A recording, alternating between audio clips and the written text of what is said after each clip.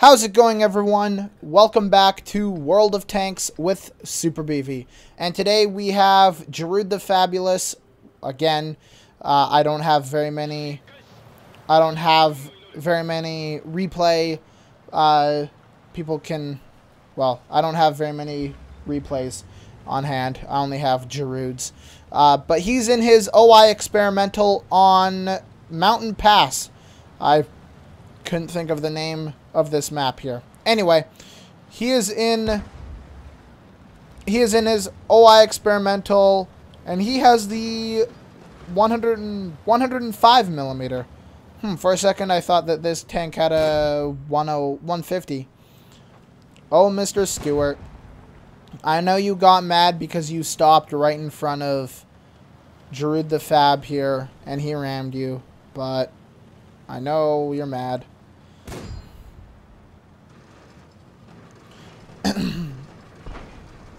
So anyway, Mountain Pass, very nice tier 5 match battle. Uh, he's going to have a very nice result here. There he goes saying sorry to the uh, to the steward there for ramming him. Even though it wasn't Jarood's fault here. The OI Experimental is a very... It's one of those tanks where... It, you just... You just do good no matter what really you do. So coming around here, he's advancing on the 1 and 2 line. And a surprise hit from a Stug. Well, you know what? Have that, you not... You, and another hit there from that Stug 3. We're going to finish him off there. You know, casually. 350 damage already. That Stewart is still doing his thing back there. Anyway, coming around this corner here, the team is doing very well. It's 4 to 2 already. And we're like not even 3 minutes into this match here. Actually, we're just over 2 minutes here. Coming around this corner here, and we run into a Toldi 3 and a Churchill 3. The Churchill 3 actually starts penning him with AP, so Obviously, he knows where to shoot. Bounces off the Churchill 3 gun mantle. Or the side of the turret, I should say. But the next shot does not miss. Now, this Toldi know, knows what to do. He knows to get underneath the gun depression of the OI. Because these Jap... He, well, these Japanese heavy tanks are very well. Like they're like they don't have very good gun depression. And he picks up his fourth kill on the M4 Sherman. But what's this? A foe? A OI experimental on the enemy team? We're going to have to see about that. Advancing into, well, into the start of the enemy base. And there's a Covenanter. Tier 4 British light tank. We're just going to have to uh, obliterate him. He didn't actually get the kill there. The Churchill 3 got him. And the Panzer 1C obliterates the Wespe.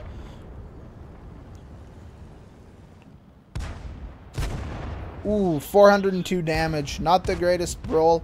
But you know what? We're going to have... Actually, we're not going to have him because the T-67 just killed him. And that's that. That's the, uh, that's the game. Now we're we're gonna jump into the post battle results screen, so I'll see you over there. Okay, here we are on the post battle results screen. Uh, thirty-six thousand silver earned. That's a lot of silver. Uh, he walked away with thirty-one thousand with all of the costs that he had. Uh, he fired nine shots. Direct hits nine, eight penetrations. The only bounce that he took that he had was on the uh, that Churchill 3 there. Uh, he did set 1,727 damage. He received, well, he took damage blocked by armor. He received 375 damage blocked. Uh, hits received 12, penetrations 5, non penetrations 7. Uh, very, very tough tank here. He did he did top on damage done for his team. Like I said, 1,727. And he got the most kills out of the entire game. But look at these zero damages and look at these less than 100.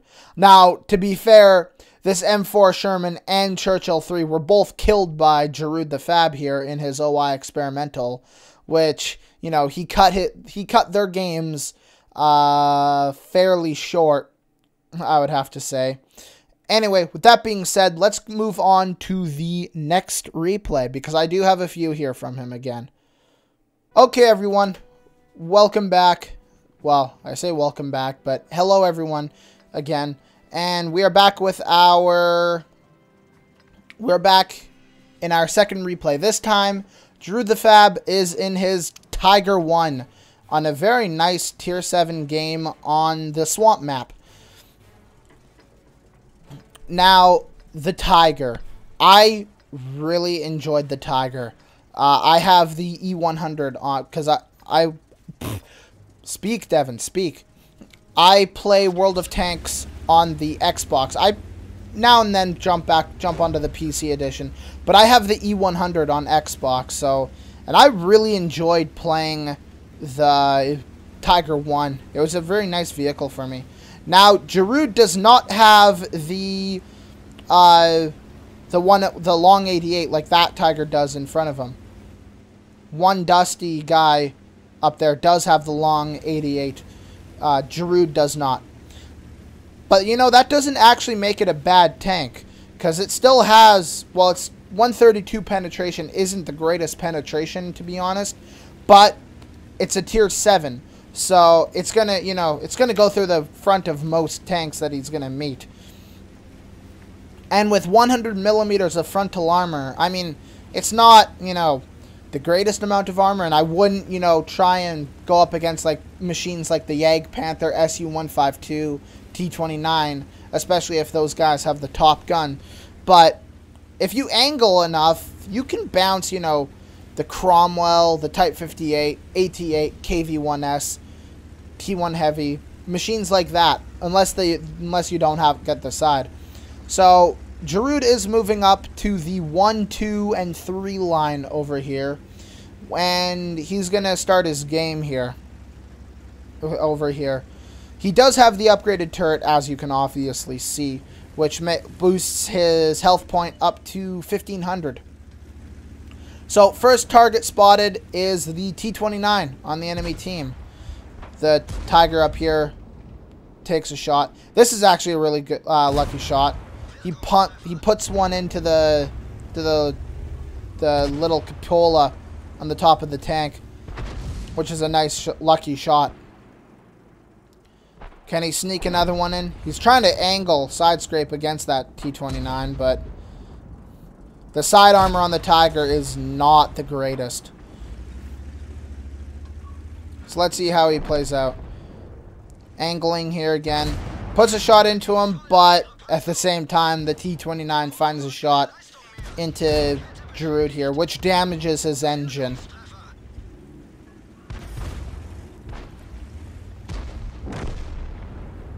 This game isn't even a minute, well, it's about a minute and a half over. There he goes, fixes his engine. I would rather have an en a good engine over a slightly busted track.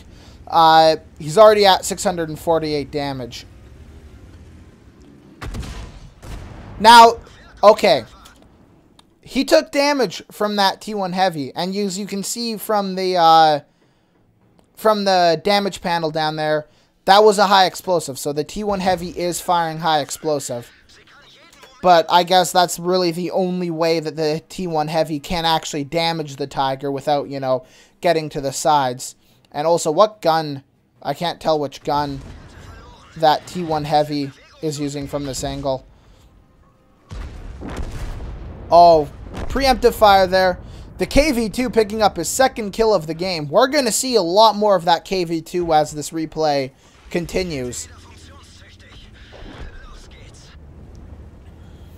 Six, six. The scores are not looking very good here.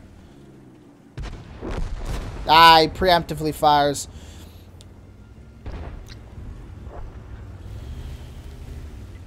So now he turns around because, you know, this side of the map, the 8, 9, and 0 line are, and there's that looks raging in chat earlier, or, uh, from earlier. The 8, 9, and 0 line has completely crumbled uh, they've lost pretty much all tanks on that side there. Uh, the, you can see that SU-152, you know, digging in, digging his life in, or digging in and preparing to, you know, sell his life to the enemy team. Cromwell's, you know, battering that T-3485. I'm going to go into fixed camera view for a second here just so we can see where he's aiming. Now, he was originally, well, from what it looks like, he was originally going for the... Bounced off the frontal armor of the Jagdpanther there. Wait for it. There we go. Secures the kill. And there's that Cromwell again. Cromwell just killed the Su-152. Jarood puts a nice shot into him, 216 damage, and the KV-2 picks up his third kill of the game, finishing off that Cromwell. We're going to see, be well, like I was saying before, we're going to be seeing more of that KV-2 in a bit here. Type 58, you can kill him in one shot, so finish him off. They're going to remove that one extra gun from the game, which is always good. That's how I usually play World of Tanks, is if there's an enemy tank, if there's a tank that can be killed, I always go for the killing blow. Because it just removes that one extra gun from the game. There's in that AT2. The scores are looking really good now. Puts another shot into the SU-152. KV-2 finishes off the SU-152 securing his fourth kill of the game. Jarood's getting his angling back together here. Kind of fell apart there. Derps one into the front of the AT-8. You're not going to pen it. Yes, go for the Cupola.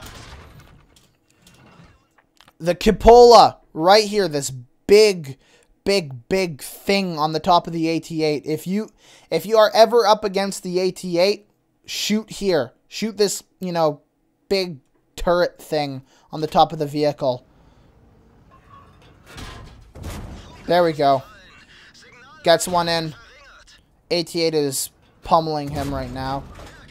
And this SU-101 pulls out in front of him. Thanks. Thanks for that.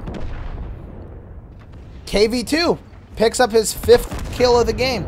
And the Tiger one on the enemy team shuts down the cave or the SU-101, 100M1, I should say. Artillery just now, just then put a shot in. Bounces a shot from the, or bounces off of the front of the enemy, enemy Tiger 1. The enemy Tiger 1 does not bounce off of Jarood. Jarood is now down to 393 hit points worth of health. So he's KV2 uh, puts one into him. Unfortunately, that's where the KV2's game comes to an end. But now that gives Jarood time to put a shot into the enemy Tiger. And another shot there. 153 health left. The the artillery shotguns him. Does not... Lucky... That Tiger is lucky not to die from that SU-8 there. But Jarud punches his ticket. And now, we are down to 1 versus 1 engagement. Jarood here in the Tiger 1 against that M41 HMC on the enemy team. The Tier 5 American artillery. Now, what are we going to do? Now, when I first initially, because I watched this replay now for a couple of times, and a couple of things were rolling through my head. One, Jarood here could, you know, go back to his base here and try and defend, you know, lay an ambush, uh, get an ambush ready for in case that, you know, M41 there decides to come back and cap Or Jarood could go to the enemy base and uh, try and cap out before the enemy M41 can cap out on his base. Now, what you're about to see is a little bit of confusion on Jarood's part. Uh, he should have just, for, uh, from what you're about to see, he should have just either stuck with one or the other. What you're what you're gonna see is him being very confused and you know driving back and forth, back and forth, back and forth. T-3485 is telling Jarood here to move because of artillery, and that's a, another thing that I want to point out there is that Jarood is on a one-shot kill for the M41. So he's guarding, he's going back, he's gunning it back to base, and people are telling him, "No, what are you doing? Go to the enemy base." And so Drew, okay. People are telling him to cap. And you know, and you know, to be honest, also that, uh, that, uh, SU calling Jarood here, D Trump is driving.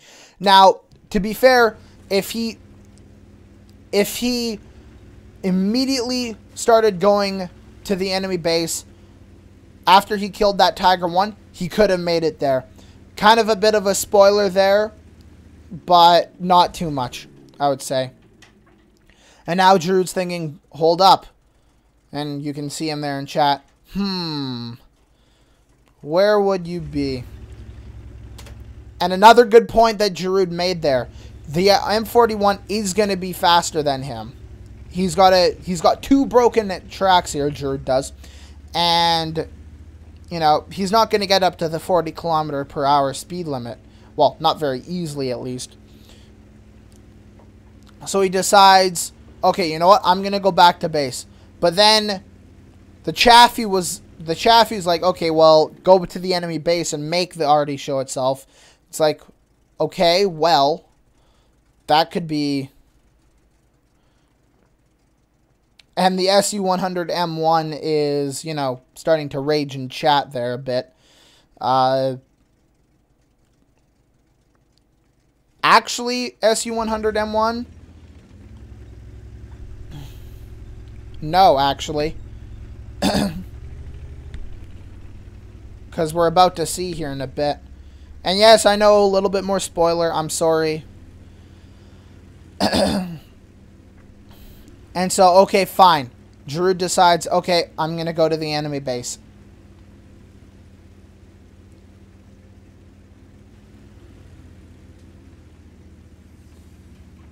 So I'm going to speed this up a little bit here by two times. Just so we don't have to sit and watch just driving for a bit.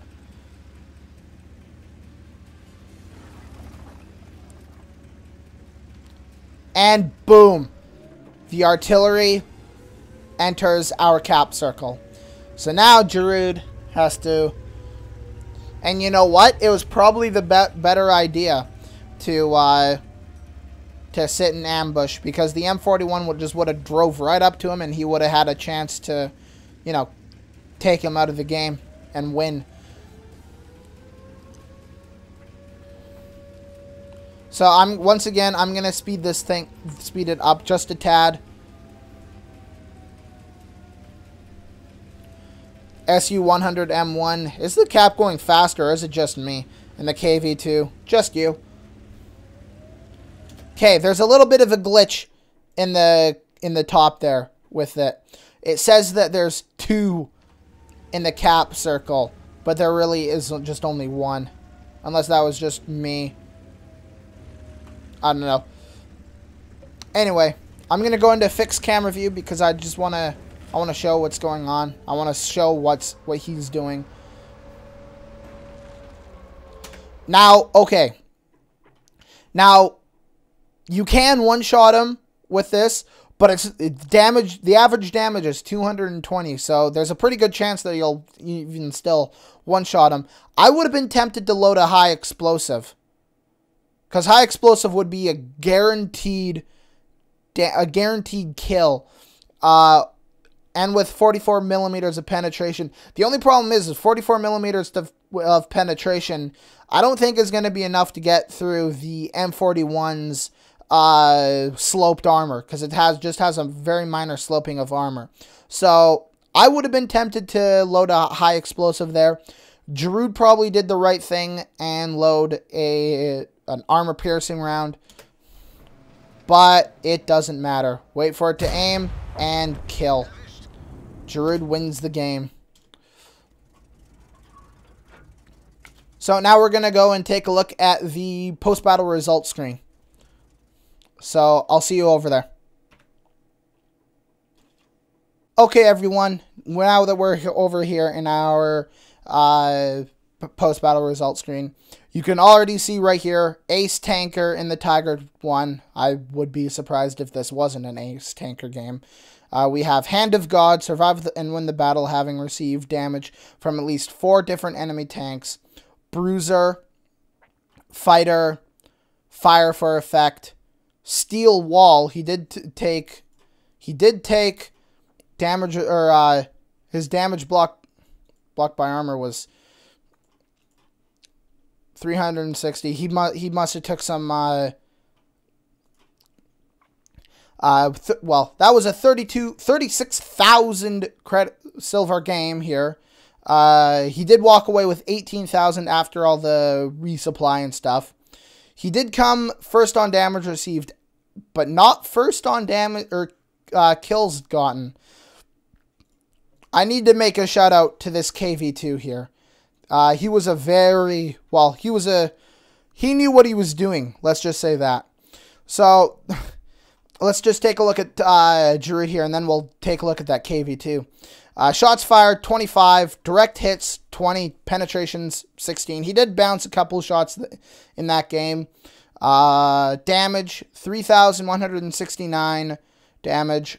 Hits received, 14. Penetrations, 8. Non-penetrations, 6. Um, yeah, he did pretty good in that game.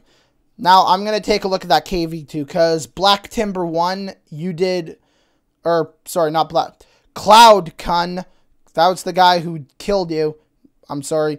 Uh, fired, shot, fired 11 shots, uh, direct hits 10, penetrations 10, damage. He did 2,661 damage. Uh, hits received 3, penetrations 3. He didn't actually take a lot of hits there, but, you know, tier 7 game. Uh, most of those hits are going to pen the KV too. So, yeah, great job, Jarood, but also great job to the KV2. Anyway, let's move on to our final replay of the day, shall we? Okay, everyone, welcome to our final replay. And today we have a triple platoon. Uh, Jarood the Fabulous, Maverick Bus, and JD Dragon. Uh, all in their tier 3 tanks.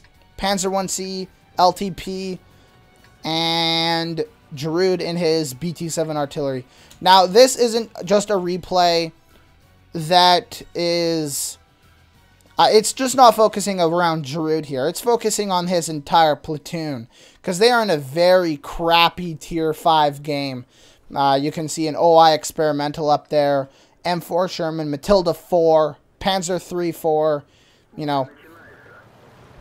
And JD Dragon suggests, oh, hey, let's insta-cap.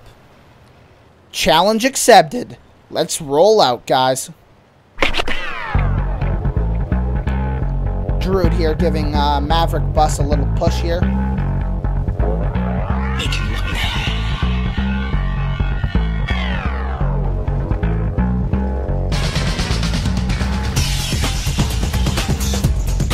Maverick Bus taking a little damage there, but...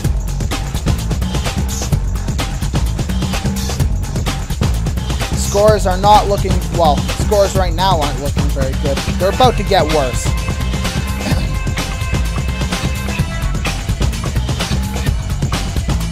we have Maverick... Well, we have Jarood the Fabulous in the cap. We have Maverick Bus in the cap, and we have... The entire platoon right now is in the cap. There are three plus three plus of them, well, There's four of them right now in the cap, and, well, we're about to have five.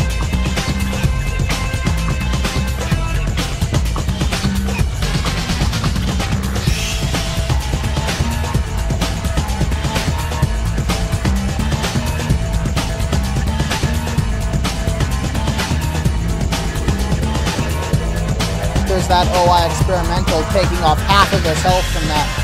And the scores are not looking very good. It's 1-4. JD Dragon saying, you guys didn't want to win, right?